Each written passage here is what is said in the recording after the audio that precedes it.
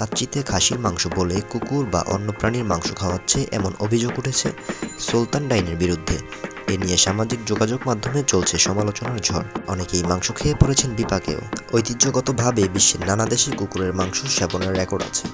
একবিংশ শতাব্দীতে চায়না, দক্ষিণ Korea, Vietnam, Nigeria, Switzerland, Cambodia ইত্যাদি দেশে কুকুরের মাংস সেবন করা হয়। কুকুর ধরে আনা, জবাই করা, কুকুরের মাংস সেবন ইত্যাদির ফলে জলাতঙ্ক হওয়ার ঝুঁকি আছে।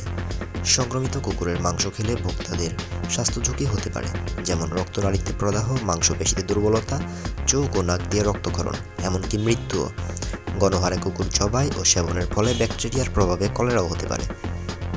এছাড়াও কুকুরের মাংসের সাথে নানা ধরনের রোগ ও ইনফেকশন জড়িত। ইকোলি ও সালমোনেলা নামক জীবাণু কুকুরের দেহে পরিজীবী হিসাবে বাস করে। এর থেকে প্যারাসাইট ইনফেকশন হতে পারে। এছাড়াও কুকুরের ফার্মগুলোতে তাদের রোগ প্রতিরোধের জন্য ব্যাপক হারে অ্যান্টিবায়োটিক ও ভ্যাকসিন দেওয়া হয়। এই মাংস সেবন করলে আপনার দেহে কোনো অ্যান্টিবায়োটিক কাজ করবে না, অর্থাৎ অ্যান্টিবায়োটিক রেজিস্ট্যান্স। কুকুর সেবন করা মানবদেহের জন্য নিঃসন্দেহে ক্ষতিকর। মানবতা বিচার করলে অবলা পশুকে হত্যা করে সেবন করার কোনো অধিকার মানুষের নেই। ধর্মীয় দিক থেকে বিচার করলে কুকুরের মাংস সেবন করা বহু সংস্কৃতিতে সম্পূর্ণ নিষিদ্ধ।